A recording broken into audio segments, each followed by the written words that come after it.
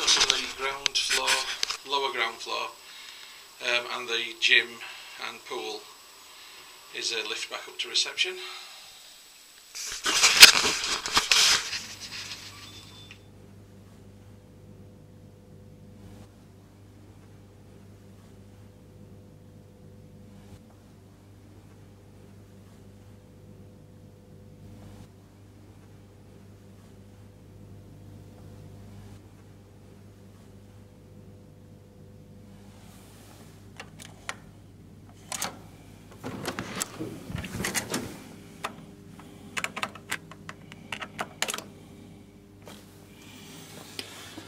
Welcome to room 510 at the Novotel Hotel in Sheffield city centre.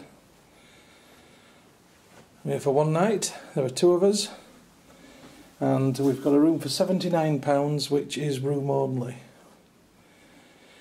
Which is not cheap, but then again, Sheffield isn't a cheap place to stay.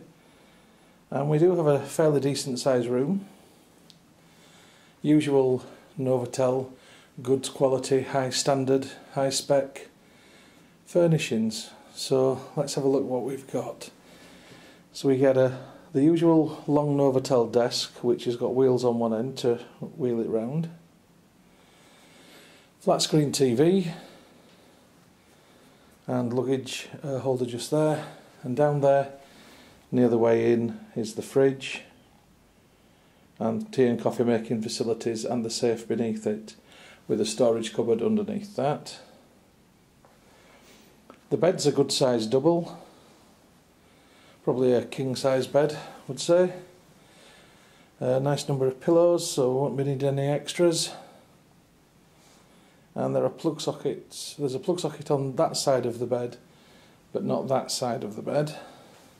But there are other plug sockets around the room two behind the lamp over there for example. And one down here which means that if you've got things to charge then you'll be fine. Um, and just a little tip. On the back of the TV or on the side of the TV if you can see there is I don't know if you can see it or not but there's a USB port. So also for charging up your USB things you can do it through your television so let's have a look in the bathroom. So we've got these nice uh, opaque doors. So there's a, a full-on bath and shower and sink and this is identical to the bathroom that we had when I stopped at Novotel in Geneva. There are soaps and uh, gels there and here's the uh, ski slope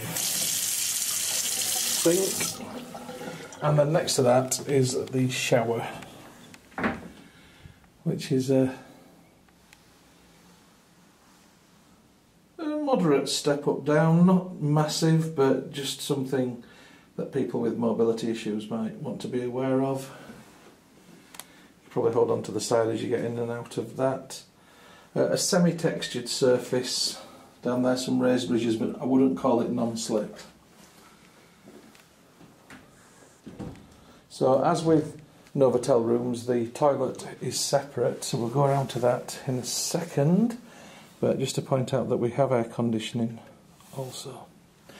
So moving round to the toilet room, you get uh, the usual Novotel toilet cubicle, which I'm not keen on these because there's no sink, and as I've said before, it's not hygienic. So people will use the toilet, and then they will use the door handle on the other side, obviously. And if they're not washing their hands, then that's massive uh, germ transference. It's not nice at all. I cannot understand why Novotel have never thought about this.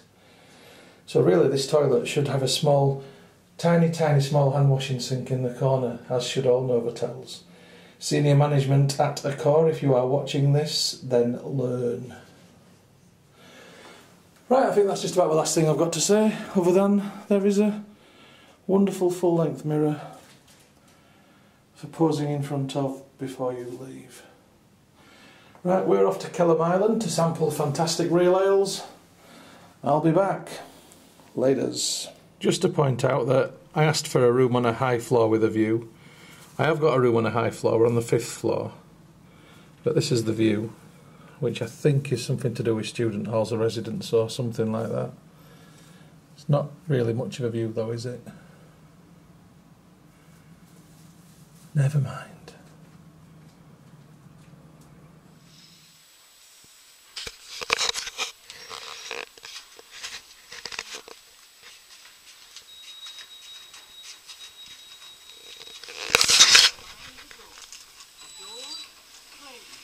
Okay, so we're in a, a Novotel Sheffield concept lift. It's uh,